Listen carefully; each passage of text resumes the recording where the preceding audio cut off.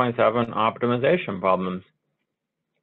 So there's are, these are basically story problems where the idea is to find a maximum or minimum, um, but it might not be phrased that way, but there's probably those keywords or, or, or it's a good chance that the, either of those keywords are going to be in there. But anyways, um, just basically the basic steps with story problems, read and understand the problem, draw a diagram, introduce notation. So you let X be this. Usually you're going to let, so for example, you let Q be something that you want to find, or it could be like some other letter, it doesn't have to be Q.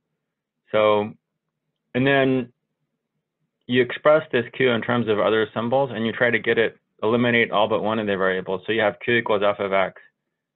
Okay, and then, then it becomes a problem of trying to find the absolute maximum or minimum of this f of X. So you use the techniques and methods that you learned in 4.1 and 4.3 to finding absolute maximum or minimums of values of f.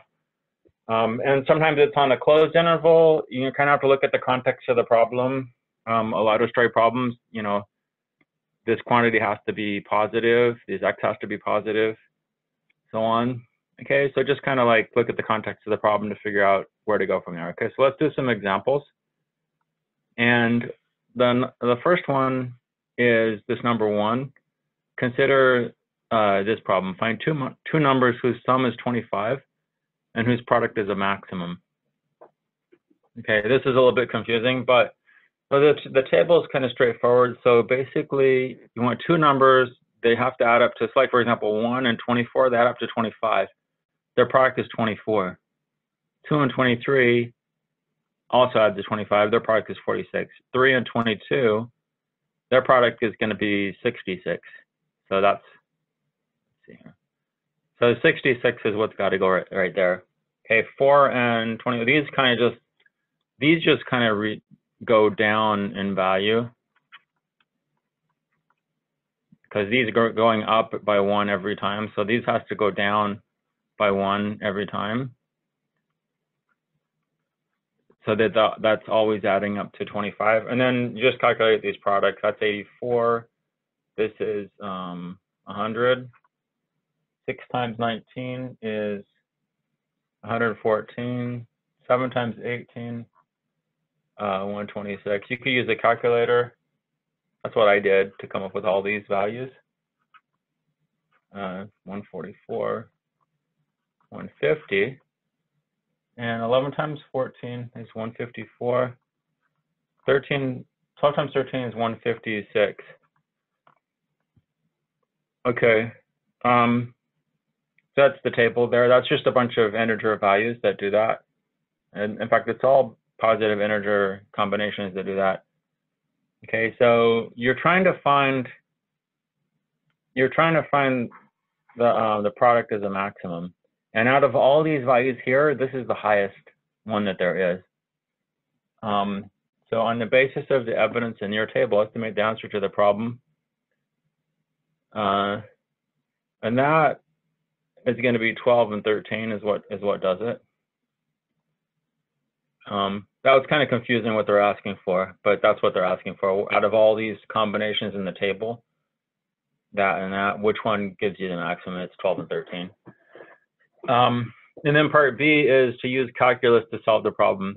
So essentially, if you let x equal the first number, okay, then um, the second number is 25 minus x, okay? Because if they're going to add up to 25, then this, you're going to need that and that to add up to 25. And they do, okay? Because this is, so if the first number is x, the second number has to be 25 minus x. Okay, so now the product, the product, P, is equal to x times 25 minus x. Or 25x minus x squared. And so you take the derivative, and that's 25 minus 2x, and you set that equal to zero, because that's that's the only way to get a critical number. Um, also, the, the endpoints are endpoints um, are x equals zero and x equals 25. But in either of these cases, the product is going to be zero because this is zero. Then the 25 minus x is going to be zero. So the products are going to be zero in these cases. So the the maximum is going to occur when x when x satisfies this equation here when it's a critical number. Okay, so negative 2x is negative, um, 25. Uh, divide by negative 2 and you get negative, you get positive 12.5. Okay, so the answer is 12.5 is the first number, and the second number is also going to be 12.5. Okay, now, of course, a lot of you could figure this out from the table, okay? But somehow, for some strange reason, you're not allowed to do that. So that's okay. So this is to be, these are to be the answers, though, for this problem. This is sort of an introduction to the topic. Um, so let's go, let's do something a little more significant. Number 25. What is the maximum vertical distance between the line y equals x plus 42 and the parabola y equals x squared? Okay. So for negative 6, x is between negative 6 and 7. Now, it turns out that what this looks like is, um, let me drop a diagram of what this looks like. So this line right here, y equals x plus 42, it has an, a y-intercept of 42, and it has a slope 1, right? So it's going to be something like that.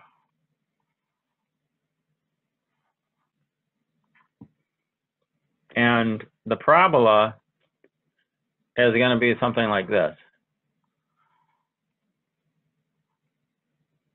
And it turns out that, let's see here, when x is um, 7, that's 49. That's also 49. So these, these guys intersect right here at 7, comma 49.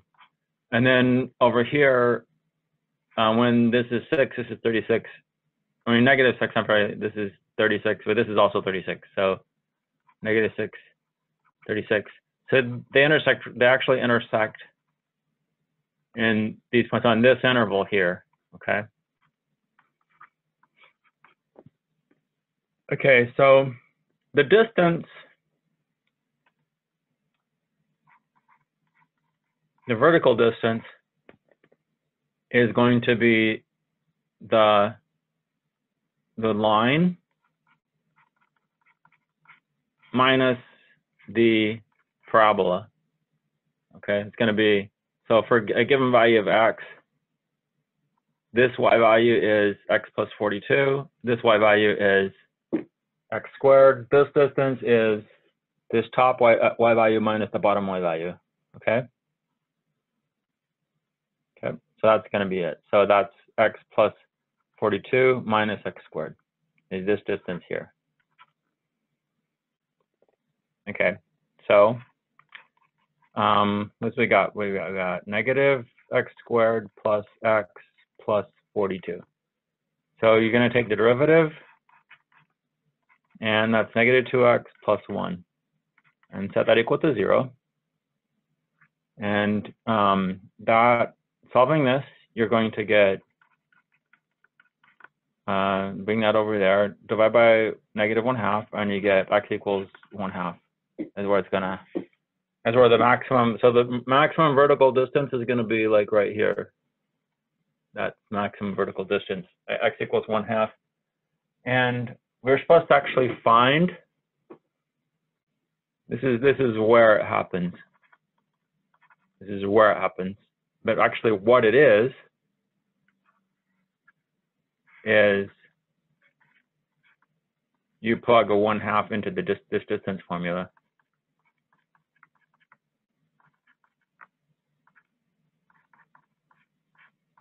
Okay, so just plug it in one half here and one half there.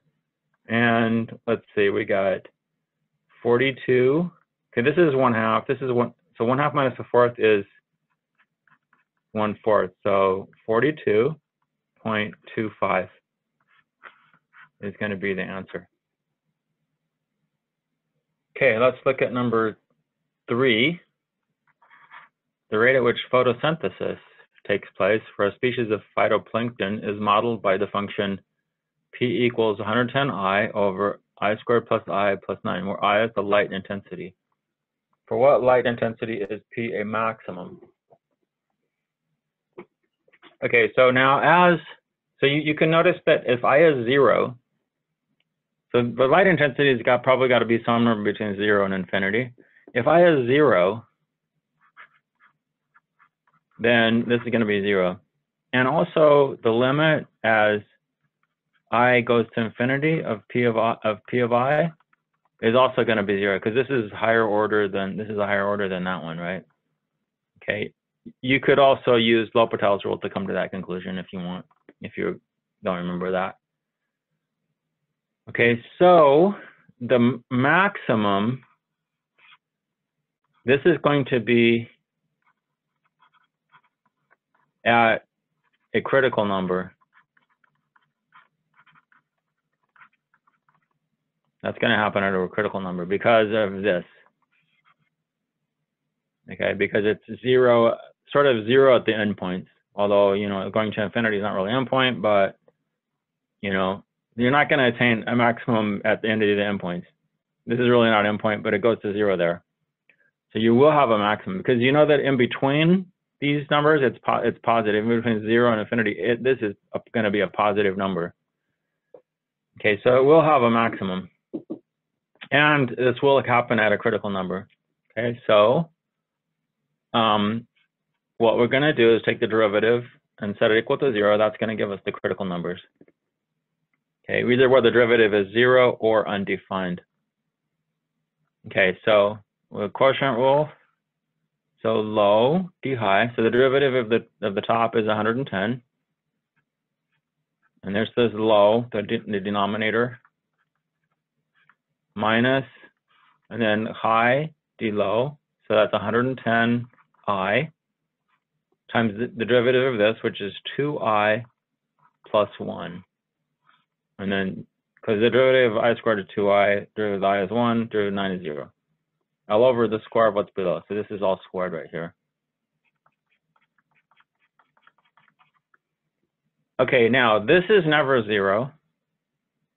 So it becomes to figure out where this is going to be 0, this numerator. Okay? So we can factor, so just take the numerator. Just set that equal to zero, okay? So we can factor the 110 out. Okay, that leaves us i squared plus i plus 9 minus, okay, factoring this 110 out, we have 2 i squared minus i equals zero. Um, we can disregard the 110 and just look at this right here now. Okay, so we have, what do we got? Negative i squared. Um, whoa, this is nice. Look at this. These i's cancel. Ooh. Negative i squared plus 9 equals 0. And this, of course, is the same as i squared minus 9 equals 0. And um, you could factor this if you want. And set equal, it's still equal to zero, so i equals three, or i equals negative three. And I'm assuming that light intensity cannot be, cannot be negative, so we'll throw that out. Um, even if it were, that would make the whole thing negative, so it wouldn't be a maximum, it would probably be the minimum. And so uh, that's the uh, intensity of three is going to give you the maximum rate of photosynthesis. Okay, great. And then of course, this is all in units there. Sometimes you have to worry about units if they don't, if there there's conflicting units. Okay, let's move along to number four. If uh, 30,000 square centimeters of material is available to make a box with a square base and an open top, find the largest possible volume of the box. Okay, so you have this amount of material and you're going to make a square, uh, the box is going to have a, a square base. So maybe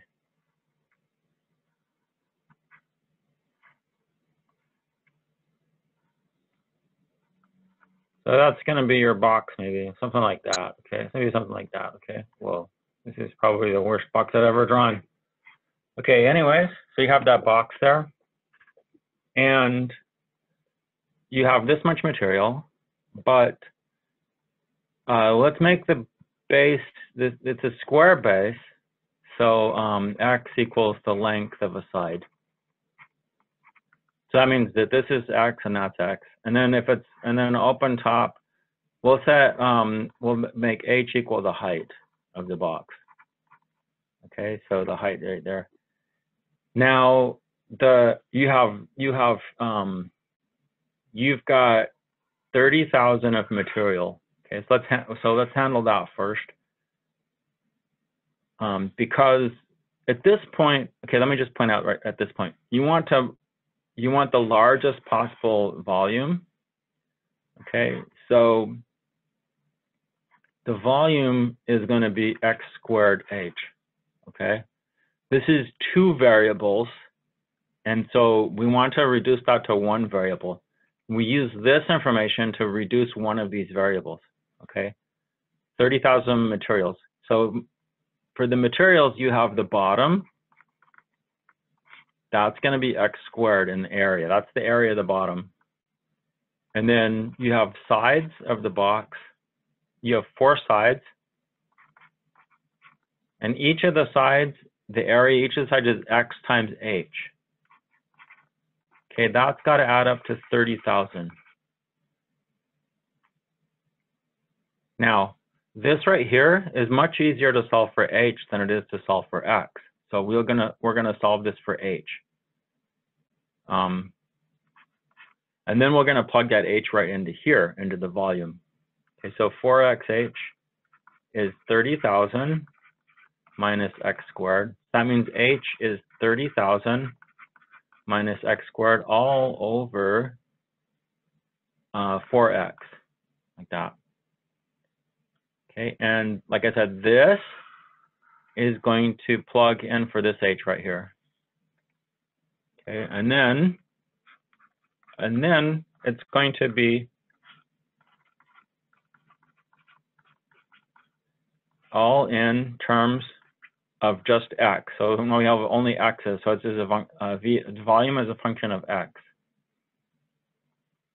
And this x is going to cancel one of those off. Okay, so uh, we can write it as uh, what? One fourth factor one fourth out. So that's we'll distribute that this x in. So it's thirty thousand x minus x cubed. Okay, there's our volume right there. Now, the endpoints are going to give you, so the endpoints would be when x is zero, for example, which is just going to give you a box with no volume. Because if x is zero, then that's gone. And then the other endpoint would be when x is maximized and and it just takes up just a flat thing, and that's also going to give you a volume of zero, because the height will be zero. Okay, so the maximum is going to the or the largest possible volume is going to happen at a critical point of this function. So we take the derivative, and derivative of that is 30,000 and the derivative of that is 3x squared. Okay, so it's, that's being set equal to 0. We can factor a 3 out.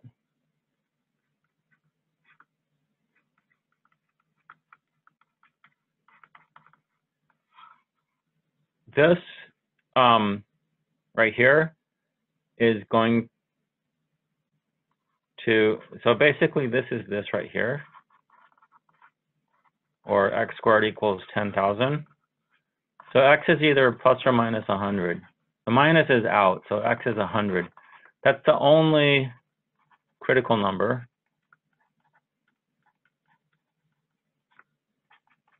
in the interval. That's only only critical number that makes sense. So this has to be the maximum. Where the maximum occurs. Okay, so here, okay, so in the previous problem, it just said basically find the value that gives you the maximum. Here it's actually asking, you have to read the instructions. It says find the largest possible volume of the box. Okay, so um, so what you're going to do at this point is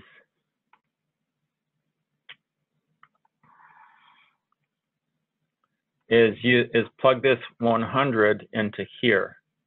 Okay, so we have 100 for that plugging into there, and then we have um, 30,000 minus 100 squared all over 4.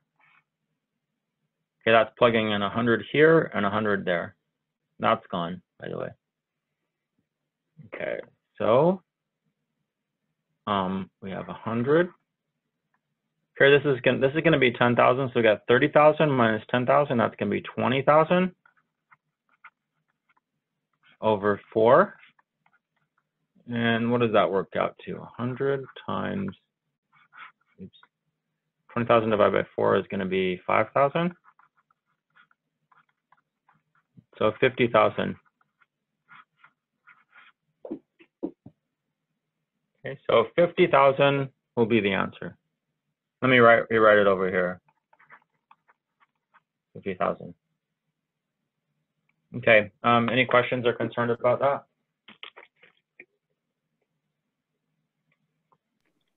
Um, I just plugged that into the answer and it's saying that 50,000 is not correct.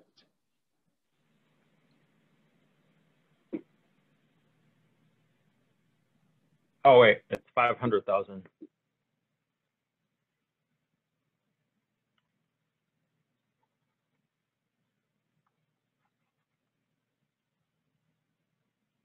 Dang, what are this plus or minus with? It's 500,000, I'm sorry.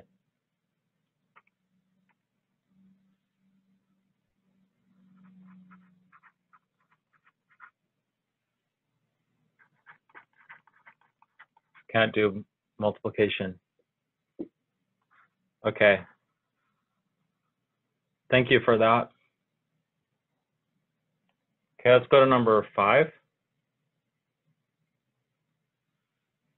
Find the points on the ellipse, on this ellipse, that are farthest away from this point. Okay, now, um, the distance squared from a point xy and a point one zero is equal to x minus 1 squared plus y squared. Okay, so um, let me, when it's asking for the, this is a, when it's, uh, when it's asking for this, this is farthest away, that means it's a distance. And a lot of times it is um, or I just say sometimes, a lot of times, but sometimes it's easier to um, maximize the, the distance squared.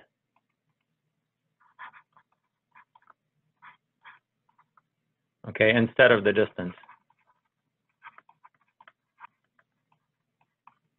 Okay, so the distance squared, because the distance has is the square root of all this, right? But if you're maximizing the distance squared, then it's the same as maximizing the distance. It's the same. as far as maximizations, the same values are going to maximize that maximize the distance squared will maximize the distance. The same values that max that minimize the distance squared will minimize the distance. Okay. So yeah. So you might as well just work with the distance squared. Okay. And that's that's the value right there. Now, your restriction is that the points be on the parabola. So here here we have a function here we have a function basically that we want to maximize. Okay, but it's got two variables, so we can't just take the derivative. But we know that this that these values right here have to satisfy this. This, this the x and the y from here have to satisfy this equation. And so we can solve this equation for y squared. It's y squared is 5 minus x squared. And then we take that and we plug it into here and for this y squared. See, we don't even have to find y because it, this is just a y squared. So we just plug this in for y squared. Okay, so now we have, now we have, um, uh, let's see here.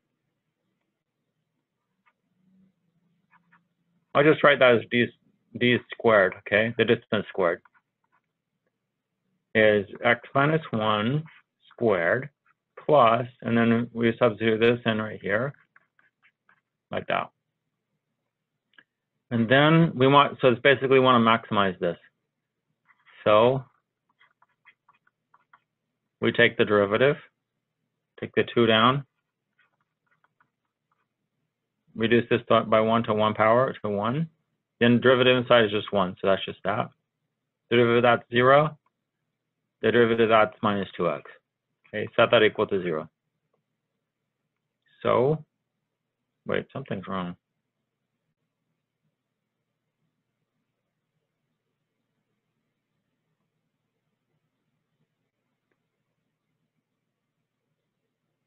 Oh, I, I see what's wrong.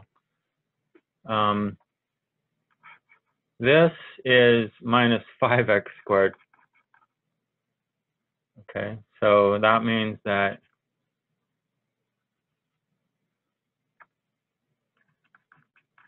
this is minus 10x. Okay, so this is 2x minus 10x minus 2 equals 0. So that's negative 8x equals 2. That means x is um, negative 1 fourth.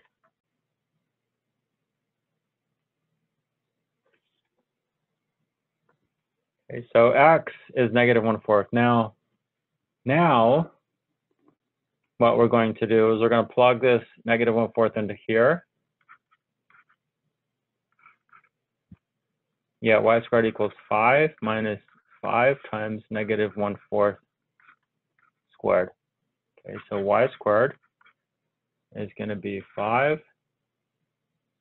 minus 5 over 16.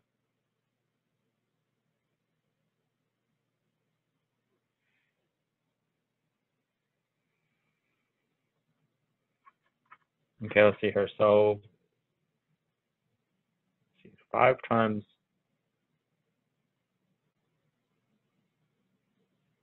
5 times 16, that's 80. So that's 80.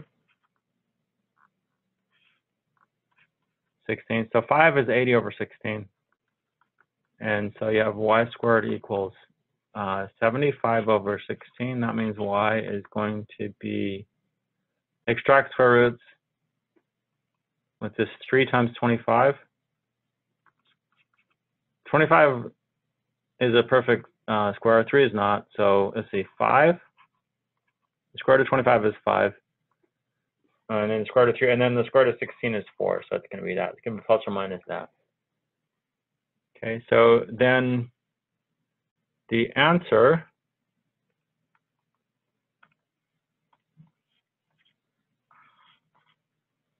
is going to be, give me two answers. So the first one's negative 1 fourth, comma negative 5 root 3 over 4.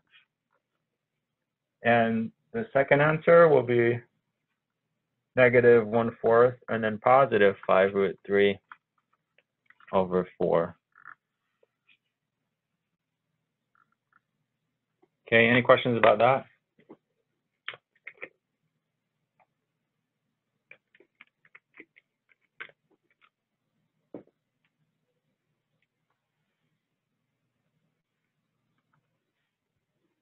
Okay, let's go to number six.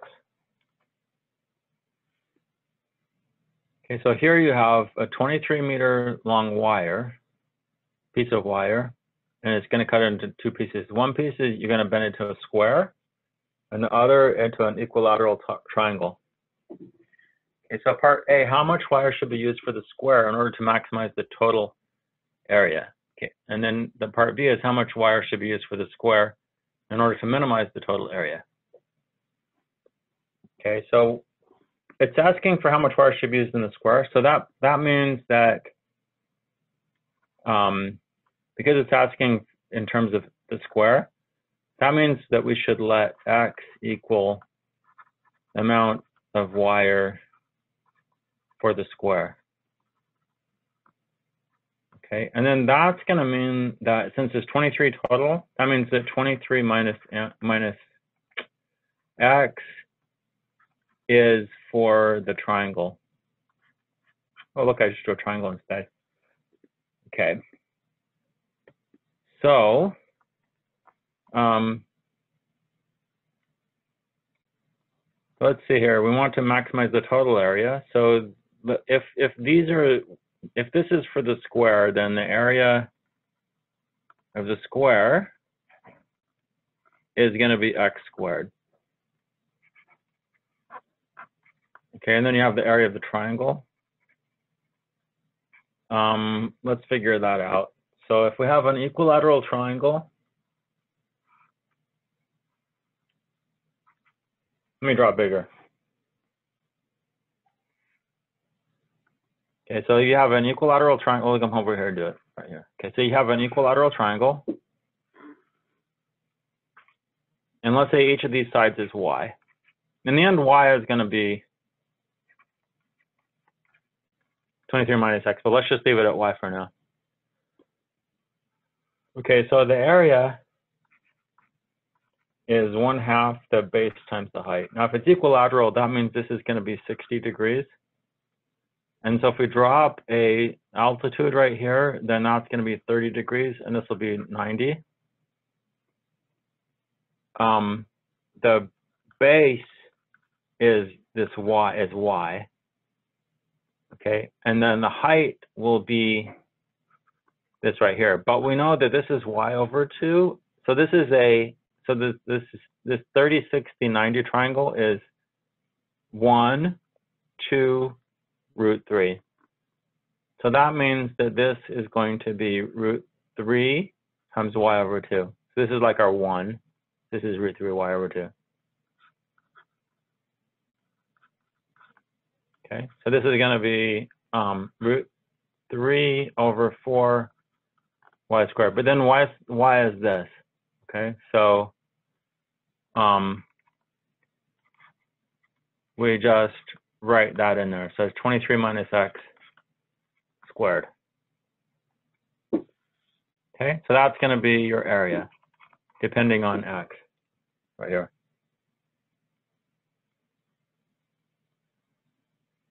Okay, so now um, the next step is to take uh, the derivative. So that's 2x and then, oh, this is, okay, the derivative of this one side is going to be negative 1. So that's actually going to end up being minus. So this 2 comes down. It reduces this 4 down to a 2. And then this 2 gets reduced to 1. And then the derivative inside is negative 1, so it comes out right there. Okay, and you're going to set that equal to 0.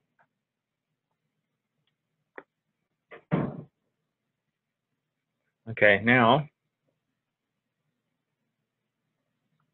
we want to solve for x. Let's see, we got 2x minus um, 23 root 3 over 2 plus root 3 over 2x.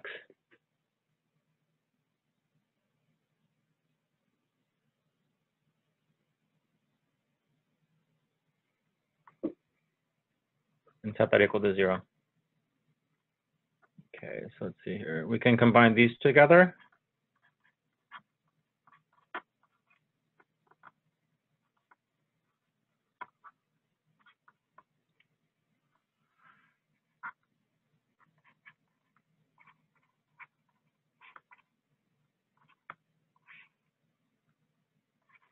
Factor an x out of here.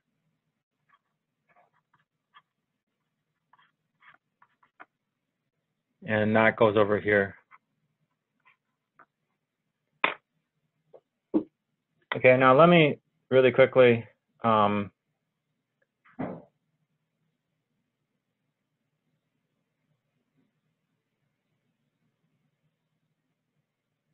Oh wait. Oh, okay. Guys, I made a huge mistake here. I'm really sorry about that. Um, ah, let me see if I can fix it. Okay, so I made a mistake. This 23 minus x has to be distributed among all three sides. So it turns out that this is 23 over 3. Okay, so that means that this is divided by Um, so this is, there's a three right there, which means there's a, um, that this is, you can pull this out as a nine. And so there'll be a times nine right there. And then this will be, this will be 18, okay? And then of course, right here as well. That's 18. Okay, so now let me um, let me put this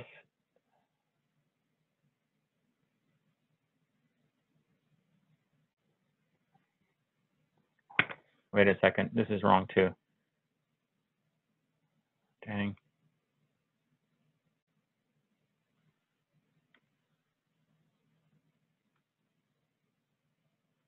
Those are both 18 as well. And that's an 18. So that's an 18 right there. Ah. Okay, so let's see, let's see if this works. So let's take let's put that in the calculator. 23 times the square root of 3 divided by 18. And that's in turn all divided by 2 plus square root of 3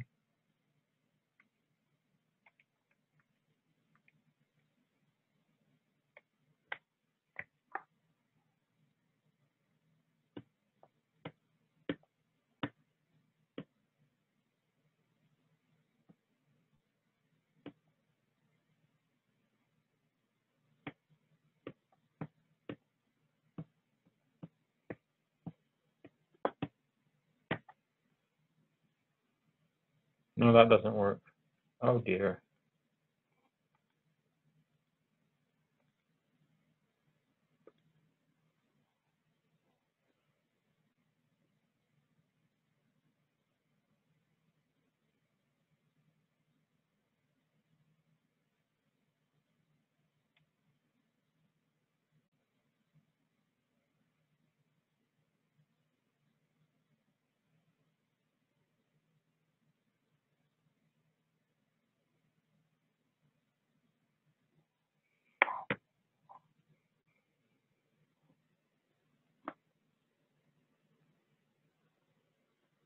Let's see here. Oh. I also made a mistake with this this this one.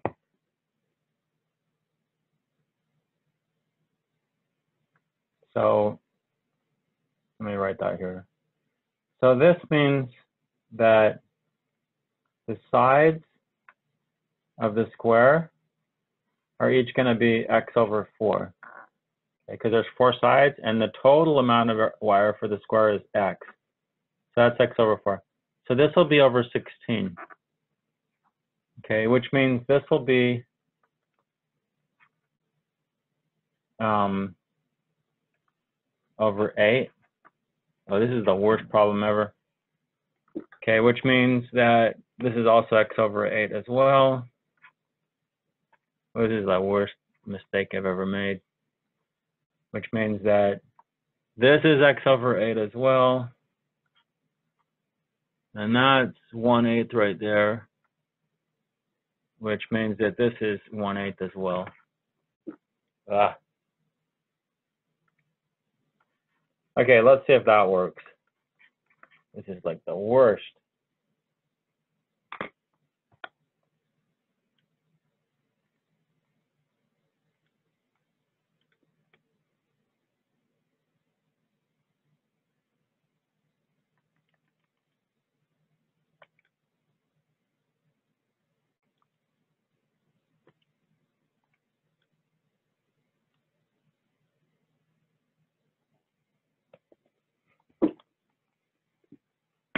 Ah, okay, that doesn't seem to work either. Let me see.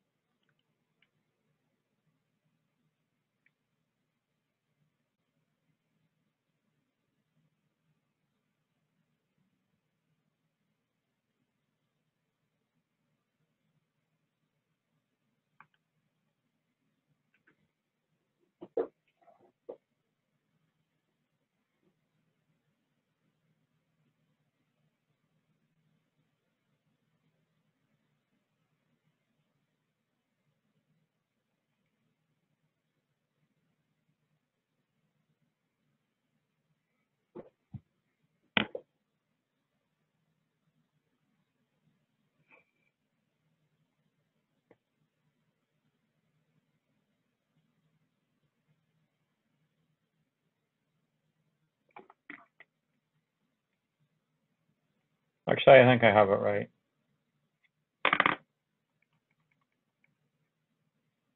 Actually, I think we might have the problem. I might have it right. Just a second.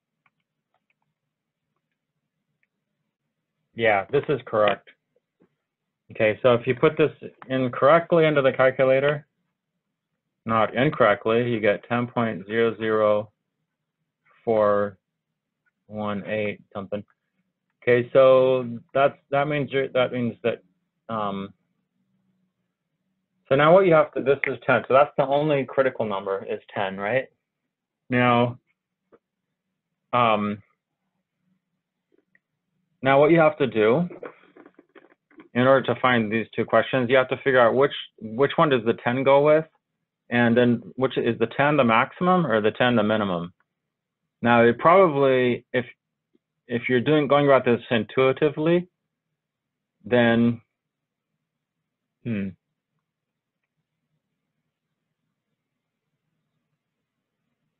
Well, it could go either way. So what you want to do is critical numbers and endpoints.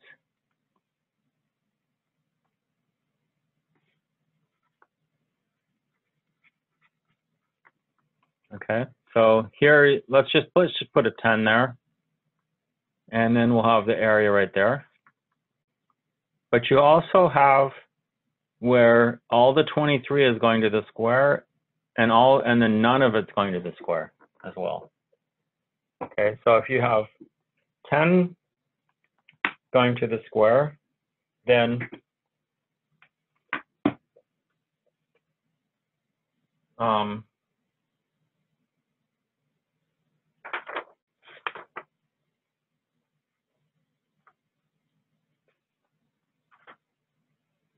then I'm just rounding this to 10. So if you if you put a 10 into here, you get 100 over 16 plus, and then over here it's going to be root 3 over 4 times 13 over 3 squared. Okay, so that's going to give you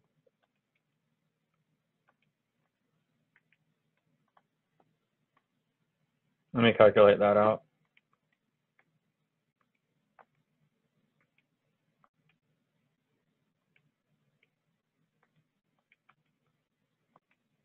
That gives you approximately uh, 14.38. Okay, that's probably 14.38. Now, if you put all of it to the square, then that means that this is 20 be going to be 23 squared over 16.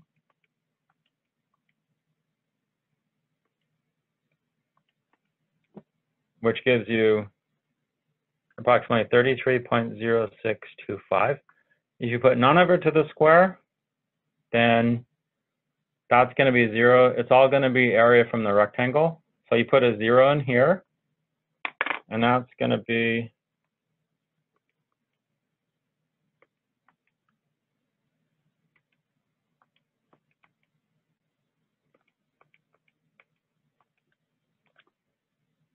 and that's going to give you 25.45, okay, approximately. Okay, so that means that um, this is the smallest value, this is the largest value. So that means this is maximum and that one's minimum. Okay, so for the first part, when it says the maximize, that will be uh, 23. And the second part, the minimize, that was going to be 10. And so those are going to be the answers. Okay, uh, that was tough. Now, let's go to number seven. So here we have a boat that leaves the dock at 7 p.m. and travels due south at 20 kilometers per hour. Another boat has been heading due east at 15 and reaches the same dock at 8 p.m. How many minutes after 7 p.m. were the two boats closest together? Now it's asking for this in terms of minutes, right? So um, what you want to do is you want to put everything in terms of minutes. So 20 kilometers per hour um, that's one hour and 60 minutes, right? So that's going to be one third kilometer per minute, okay? Um, 15 kilometers per hour, you multiply by one hour over 60 minutes. That way the hours are going to cancel and you have one fourth kilometer per minute for those two things. Okay, now, let me see. I guess I should use different colors for the different boats. So let me let me change this one to green. Okay. So this left at 7 p.m. and is traveling due south. So at 7 p.m., it leaves the dock and it's going south. Okay. So in terms of minutes after 7 p.m., this distance is going to be in terms because it's asking in terms of minutes after 7 p.m. because that's what the question is phrased as. Um, since it's traveling one third of a kilometer per minute, then okay. So if we let t equal the number of minutes past 7 p.m., then this will have traveled when it is t minutes after 7 p.m. This will this distance is going to be one third t. Okay. Now let's go with this one. I'm gonna I'm changing this to green. This one's heading due east. It reaches this place at 8 p.m. Okay. But at 7 p.m., it will be 15, this is going to be 15 kilometers. Because it's traveling 15 kilometers per hour, right? So if it reaches here at, at um, 7 p.m., Now, if it reaches here at eight, that means at seven, it's 15 kilometers away because in one hour it went 15 kilometers. Okay, so that's 15. Now, its position at t minutes is going to be 15 minus 1 fourth t. Okay, this distance here. Okay, now um, the distance squared, or the distance, you know, this is the distance squared, is going to be, so like if you have, if this is where the boat is right here, this boat, and that boat's there, then this distance will be, this distance here, the square of this distance will be the square of that one plus the square of that one. Okay, so it's going to be 15 minus 1 fourth t quantity squared plus 1 third t quantity squared. Okay, and that's in terms of t. So the distance squared prime, so you're going to take the derivative, and that, let's see, a 2 comes down, and then a negative 1 fourth comes out. Okay, here a 2 comes down. Issue this is to 1. This is, then a third comes out. Okay, and you're going to set that equal to 0. So this is negative 1 half. So let's see here. We can distribute this negative 1 half in here. That's negative 15 halves plus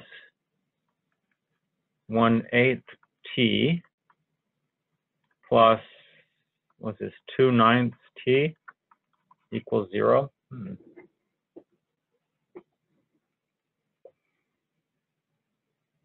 Okay, let's, so we have um, 1 eighth plus 2 ninths t equals 15 halves.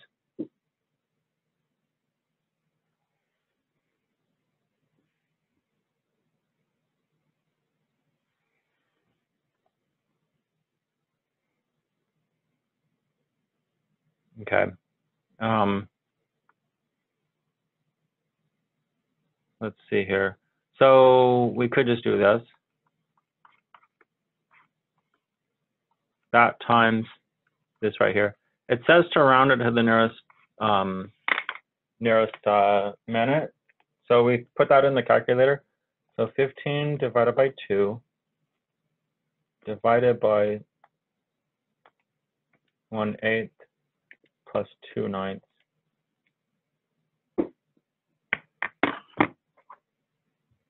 And this gives you 21.6.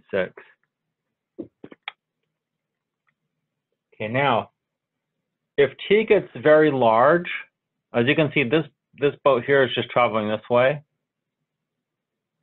And this boat's going down. So the distance between them is getting bigger and bigger and bigger. And also, if you if you track back back in time, and this boat just goes back, and that one goes up like that and goes up that way, that, then their distance is getting larger and larger. So this is going to be the time when the distance is a minimum, which is what we want. So the answer is going to be 22. So it says round it to the nearest minute.